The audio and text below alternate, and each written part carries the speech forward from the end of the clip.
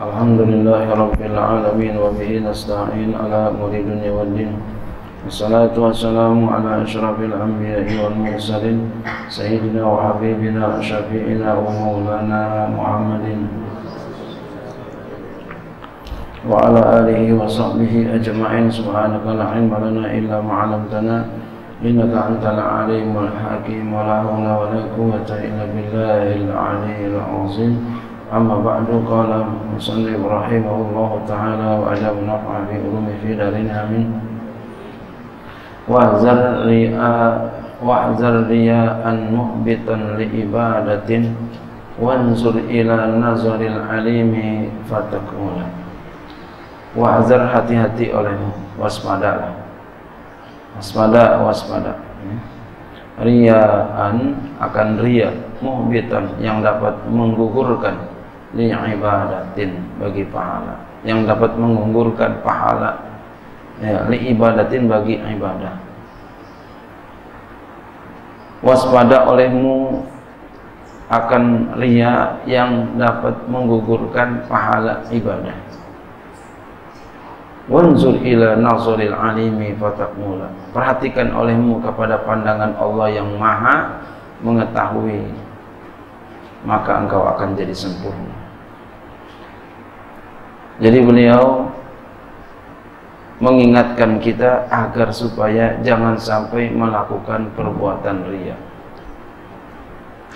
Jangan sampai kita melakukan ria.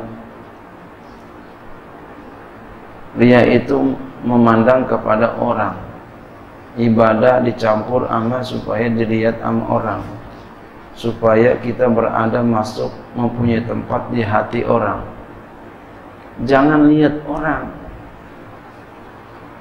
jangan kepengen hati kita kepengen kita ditempatkan di hati orang tapi perhatikanlah kepada pandangan Allah Cukup Allah saja yang pandang. Nanti kalau Allah sudah pandang, yang lain pun akan pandang kita. Allah sudah lihat kita, Allah sudah perhatikan kita, nanti yang lain akan ikut. Kenapa? Karena yang maha memandang, yang maha berbuat, yang maha segalanya Allah. Rasa puaslah kita dengan pandangan Allah. Emang rasanya sepi, nggak ada yang lihat. Tapi sesungguhnya itu awal kebahagiaan kita. Ketika kita sudah yakin bahwa Allah yang pandang kita, Allah yang lihat kita, Allah yang perhatian kita. Maka nanti satu saat Allah akan gerakin orang-orang supaya mandang kita. Maka ketika kita fokus kepada Allah dengan pandangan Allah kata beliau fatak mula kau jadi orang yang sempurna kau jadi orang yang sempurna. Sempurna. Hanya Allah. Orang mau bagaimana? Yang penting Allah. Nanti satu saat berlian tetap berlian emas tetap emas dia akan ketahuan nanti nanti akan ketahuan walaupun disembunyikan kayak apa nanti akan ketahuan emasnya. Begitu pula perak akan ketahuan perak. Perunggu kuningan akan ketahuan itu. Satu saat akan ketahuan disembunyiin kayak apa pun akan ketahuan. Jadi udah kalau begitu lillahi ta'ala karena Allah ta'ala nggak ada yang lain. Kita melakukan sesuatu karena Allah semata hati kita tenang. Tapi kita melakukan sesuatu karena yang lain maka hati kita nggak tenang dan kita akan menyesal di kemudian hari. Tapi melakukan sesuatu karena Allah kita akan tenang dan akan bahagia. Kenapa? Karena Allah akan janjikan pahala yang berlimpah ruah di dunia maupun di akhirat. Ikhlas segala apa pun. Lama amara bil ikhlasi. Tatkala memerintahkan ia musanib dengan ikhlas. Akhlisnya. Baik kemarin sudah tuh. akhlis wa za'ala turida bi ta'atin itu ya nabbah ala ta'ziri maka beliau memperingati atas hati-hati min daripada lawanan ikhlas wa riya yaitu riya. Kenapa? Hati-hati amriya li'annahu min a'zamil muhlikati. Karena ria itu adalah di antara paling besar yang dapat membinasakan ria jadi Allah nggak suka banget kalau kita ria berbuat ria ibadah dicampur aduk dengan yang lain dengan makhluk. Allah cemburu itu. Allah nggak suka itu. Sampai Allah gugurkan pahala kita Allah pengen kita ibadah sama Allah aja jangan sama yang lain. Allah kepengen kita ibadah kepadanya hanya Allah. Niat kita nggak ada yang lain. Faqalah maka ia berkata wa zarriyaan ila akhirih yakni ijtanib jauhkan olehmu. Riyaan muhbitan li ibadatika. Akan riya yang dapat menggugurkan bagi pahala ibadah engkau. Ay mudbutilan sawabah artinya dapat membatalkan akan pahala ibadah. Jadi riya itu bisa menggugurkan pahala ibadah. Wansur ila nasrillahil alimi perhatikan olehmu fokus olehmu kepada pandangan Allah yang maha mengetahui. Ketahuilah kita ibadah kita melakukan ketaatan kepada Allah ngumpet kayak apa pun Allah maha tahu. Karena tempat pandang Allah adalah hati kita. Allah lihat hati kita. Kalau kita dari manusia kita bisa berumpat dia nggak lihat kita dia nggak tahu. Tapi Allah di mana kita mengumpat semua punya Allah.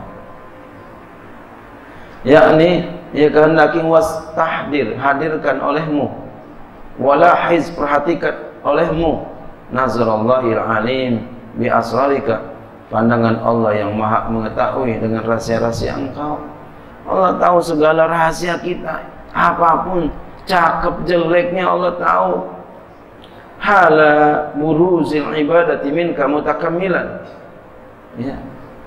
Pada keadaan tampak ibadah daripada engkau. Mutakamilan dalam keadaan sempurna. Yakni in ini jitana batariya wala az wala az nazarallahi fika takmulan. Takmul ya. Takmul takmulu ay tasiru minal kamilinal arifina jika engkau menjauhkan riya dan kau perhatikan akan pandangan Allah terhadap engkau maka kau akan sempurna. Ay jadilah engkau menjadi orang-orang yang sempurna al-arif. Orang-orang yang arif. Orang-orang yang mengenal Allah. Orang-orang yang ma'rifah kepada Allah. Di antaranya orang ma'rifah itu kalau ibadah ikhlas jadi kalau kita ibadah nggak ikhlas kita bukan minal ma'rifat minal arifin bukan ya kalau kita ibadah bukan karena Allah kita ibadah masih karena yang lain bukan karena Allah belum ikhlas kita bukan termasuk orang arif di antara perbuatan orang arif adalah ikhlas karena Allah. Jadi kalau kita pengen jadi orang ma'rifat berbuat ikhlaslah. Ikhlas. Ada pernah orang datang kepada seorang kiai, seorang ustaz. Apa kata kiai? Kata orang Habib itu. Habib datang kepada kiai orang nggak bakalan ya antum ya, katanya begitu ya antum nggak bakalan mempan. Orang ikhlas nggak bakalan mempan dengan sesuatu. Dia bilang begitu. Ada Habib ngomong sama Kiai.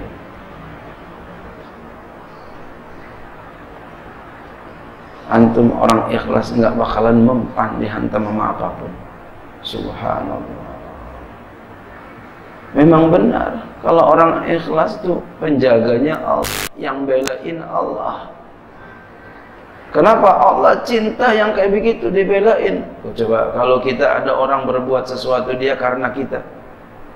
dia itu belain kita, dia itu karena kita, semuanya kita, kita, kita, kita.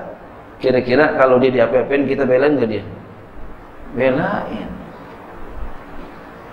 Karena dia belain kita. Tuh kita yang bersikap seperti itu manusia.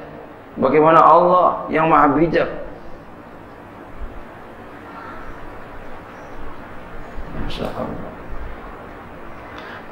Kamilal arifa huwa alladhi yatawajjahu ila Allah ta'ala bi kulliyatihi. Karena sesungguhnya yang maha sempurna, yang maha arif, dialah Allah yang menghadap kepada Allah taala dengan seluruhnya. Sesungguhnya yang maha sempurna, yang maha arif, dialah Allah yang yatawajjahu dia menghadap ya.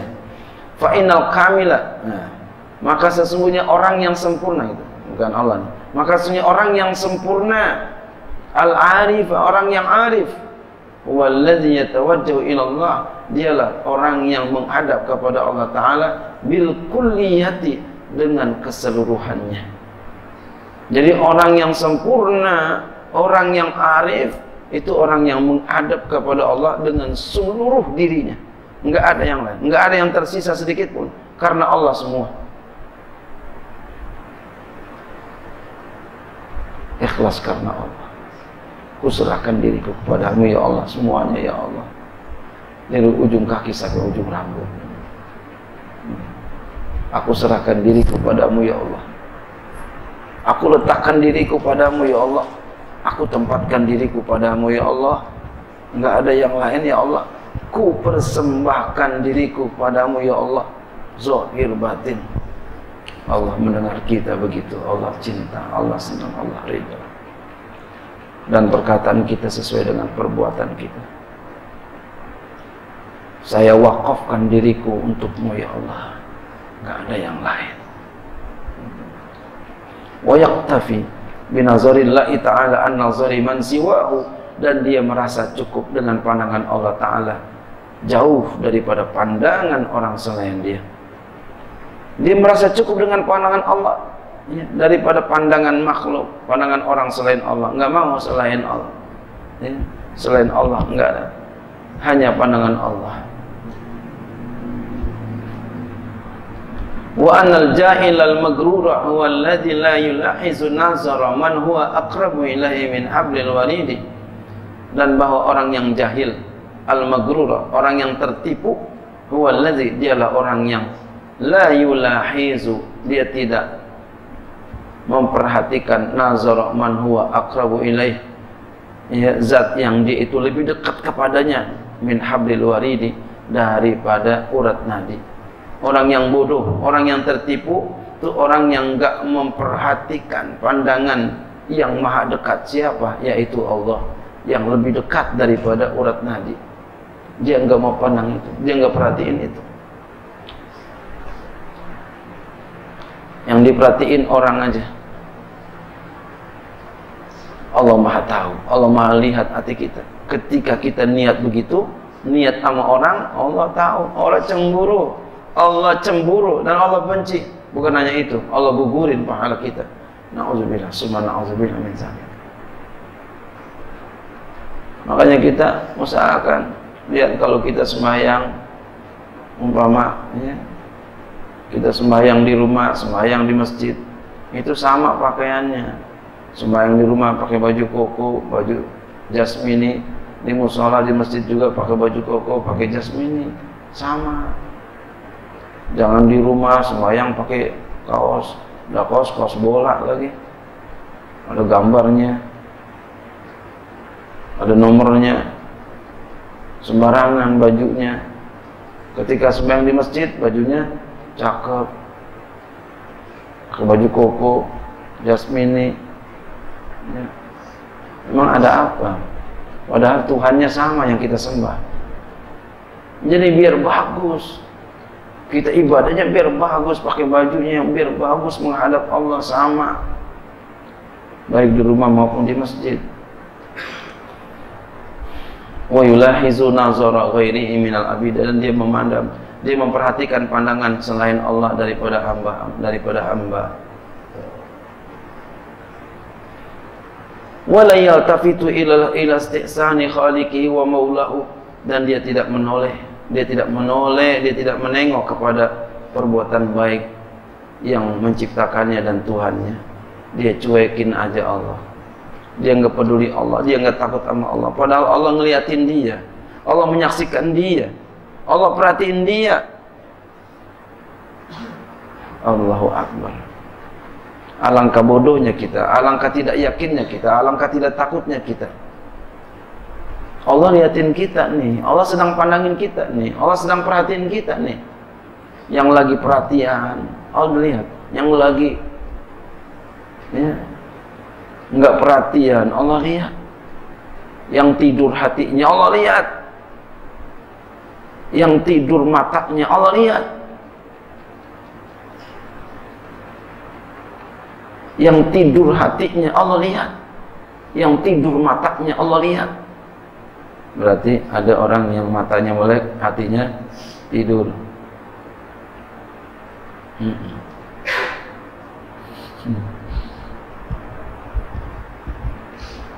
Ada orang hatinya melek matanya melek ya. Ada orang yang hatinya melek matanya merem. Nabi itu. Kita mah ya, bukan ya. Ini kita apa? Ya. Jangan yang matanya tidur. Matanya melek aja hatinya tidur. Oh nabi hatinya ya walaupun matanya tidur hatinya melek. Nabi dan orang-orang yang diizinkan oleh Allah wali-walinya.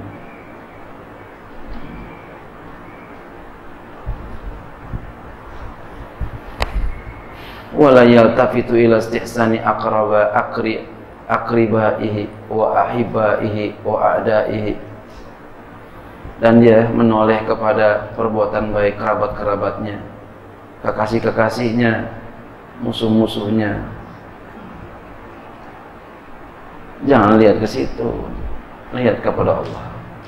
Faiza amilal insanu amalan maka apabila beramal seorang manusia akan satu amalan walam yurid bi ila riya'a dia tidak menghendaki dengan amalan itu kecuali riya fahuwa sababun lil makti wal adabi maka itu adalah sebab bagi kebencian dan kesiksaan dan siksa na'udzubillah summa na'udzubillah min zalik jadi mulai saat ini kita perbaiki hati kita, niat kita, ibadah kita kepada Allah. Hanya Allah, hanya Allah, hanya Allah, enggak ada yang lain. Ibadah karena Allah, udah semuanya karena Allah, enggak ada campur-campur yang lain. Kenapa dia mendapati siksaan? Lital bisihi alal khalqi karena mencampurinya atas makhluk dicampur ibadah kepada makhluk.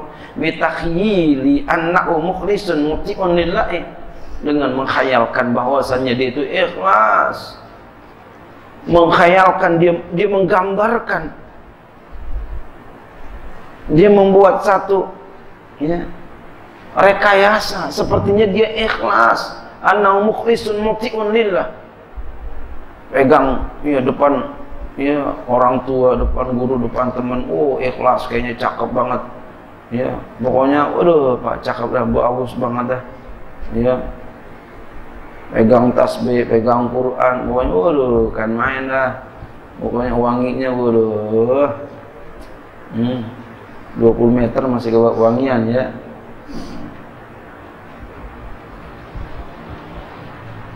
Ya zikir mulu ya lagi zikir sama-sama bobo. Ya.